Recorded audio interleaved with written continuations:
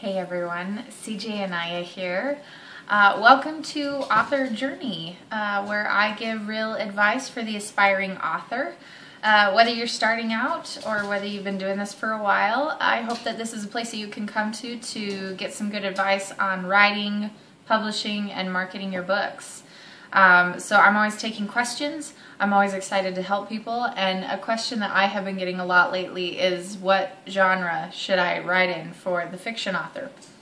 Um, I, I, this is actually really funny because I get this question even from authors who have already written uh, in a specific genre. Maybe they want to, to branch out a little bit. So I think this is a good uh, recap, just kind of a good video uh, full of information that's going to help you no matter where you are on your author journey. Uh, so just uh, to get started, um, I'm going to list four ways that you could uh, figure out, you know, which genre you prefer to write in. There, I'm, there, I'm sure there are others.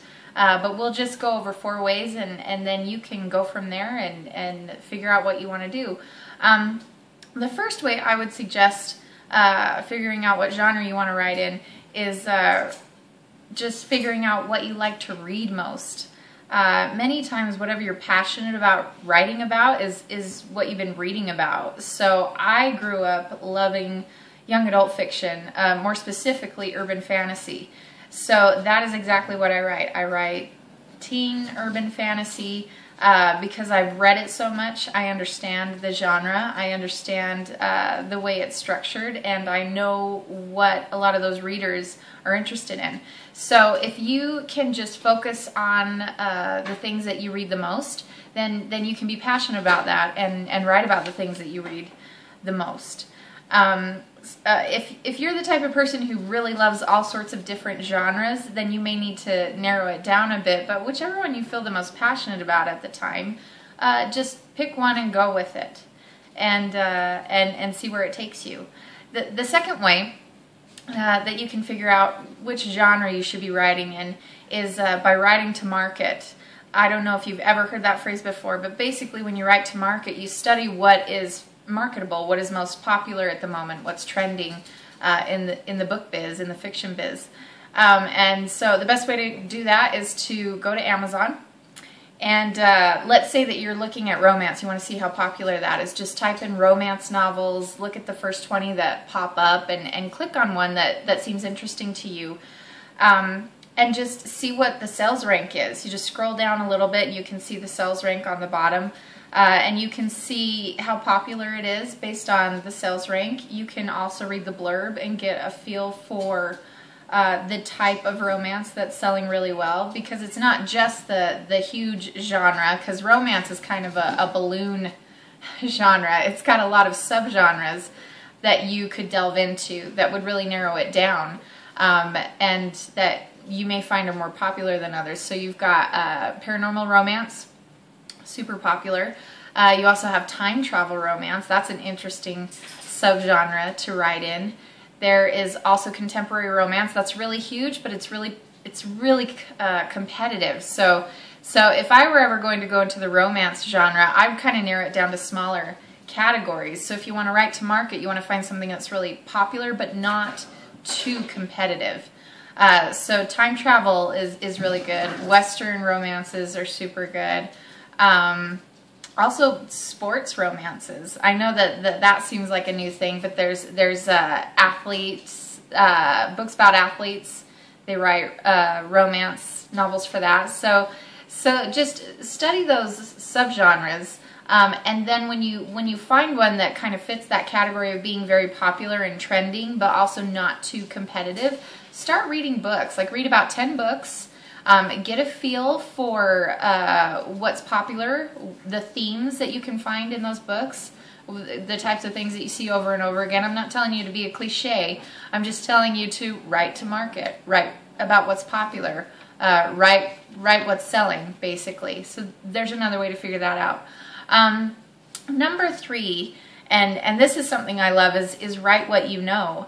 Uh, Robert Bailey, he's he's a a, a pretty uh, famous author, kind of in the in the PI detective book series biz, and uh, you know PI mysteries are are a, a, subgenre of the mystery category.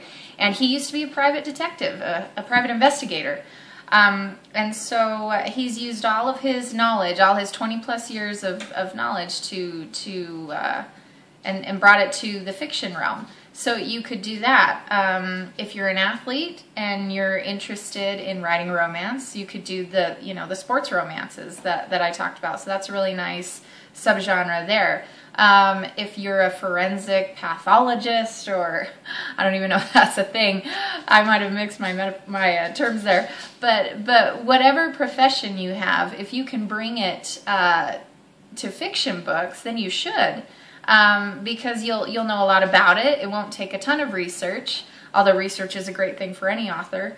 Um, and, and you'll be passionate about it too. So write what you know. Write about real life experiences you've had. Um, write about things that have happened in the workplace. Write about a horrible breakup and see where it takes you. Write, uh, write about friendships. Write about uh, family problems. Write about health issues um, and put it in a fictitious setting and see where it takes you. And then once you do that, you can figure out what genre uh, that is heading more towards and decide, oh, you know what, I think I want to take it there. But just make sure that you get it, you, you narrow it down to subgenres too so that it's not so broad and people can, can find what you're looking for. Um, and then the fourth way, the, the last thing that I want to talk about is is uh, use writing prompts. Sometimes you don't know what genre you want to write in, and you don't even have a story or an idea. And if you can figure out an idea, it can drive you towards the the best genre for you. So a writing prompt is like one or two, maybe even three sentences that just pose a scenario for you, like. Um, a woman named blank uh, wakes up one morning and finds a, a, mysterious tattoo on her arm and she doesn't know how she got it and she doesn't know what it means. So so you have to come up with that. That's like a that's a writing prompt. Um, so if you if you google writing prompts you could finally probably find some but those, those are fun uh, little writing exercises. Um, I've actually created a PDF of about 20 writing prompts that you could you could take a look at. That's in the link below. You just click on it. You can download it for free. Um, but it might inspire some ideas and, and just go over them, look through them, and if there's one that kind of hits you, um, then you can consider how you might develop that. And uh, if you turn it into a romance, then you can decide if you want it to be a, a paranormal romance or a contemporary romance. Um, and that's another way for you to figure out which which genre you want to write in. But for sure, click on that, that link below, grab that, that PDF, and uh, take a look at the writing prompts because even if you already know what genre you write in, maybe you don't have a story idea, and that's one way that, that you could get one. So those those exercises, those types of writing exercises are always really helpful for authors. They help me. I love to look at writing prompts. And um, some people might say, well, if a ton of people are looking at the same writing prompts, they're going to write the same book. And there's absolutely no way no way that they're going to write the same book. It's just nice to present a cool scenario and then you get to take it for a test drive and you get to explore that option and you get to see where your imagination takes you. Uh, and that's super exciting. So I, I, think it would be really interesting if you took one of those writing prompts um, that I have in that PDF and wrote that story. And I would love it if you just like emailed me and let me know how that went um, because I'd love to read it. So anyway, those are the four ways uh, that you could possibly find which genre would be, would be best for you to write in. I hope that was helpful. Um, if it was, please comment below. Let me know what you thought. If you have any other ideas, comment below, and I would love to hear them too.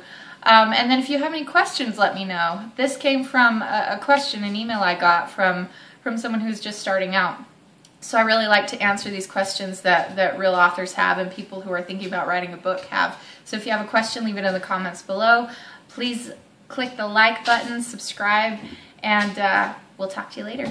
Okay? Bye-bye.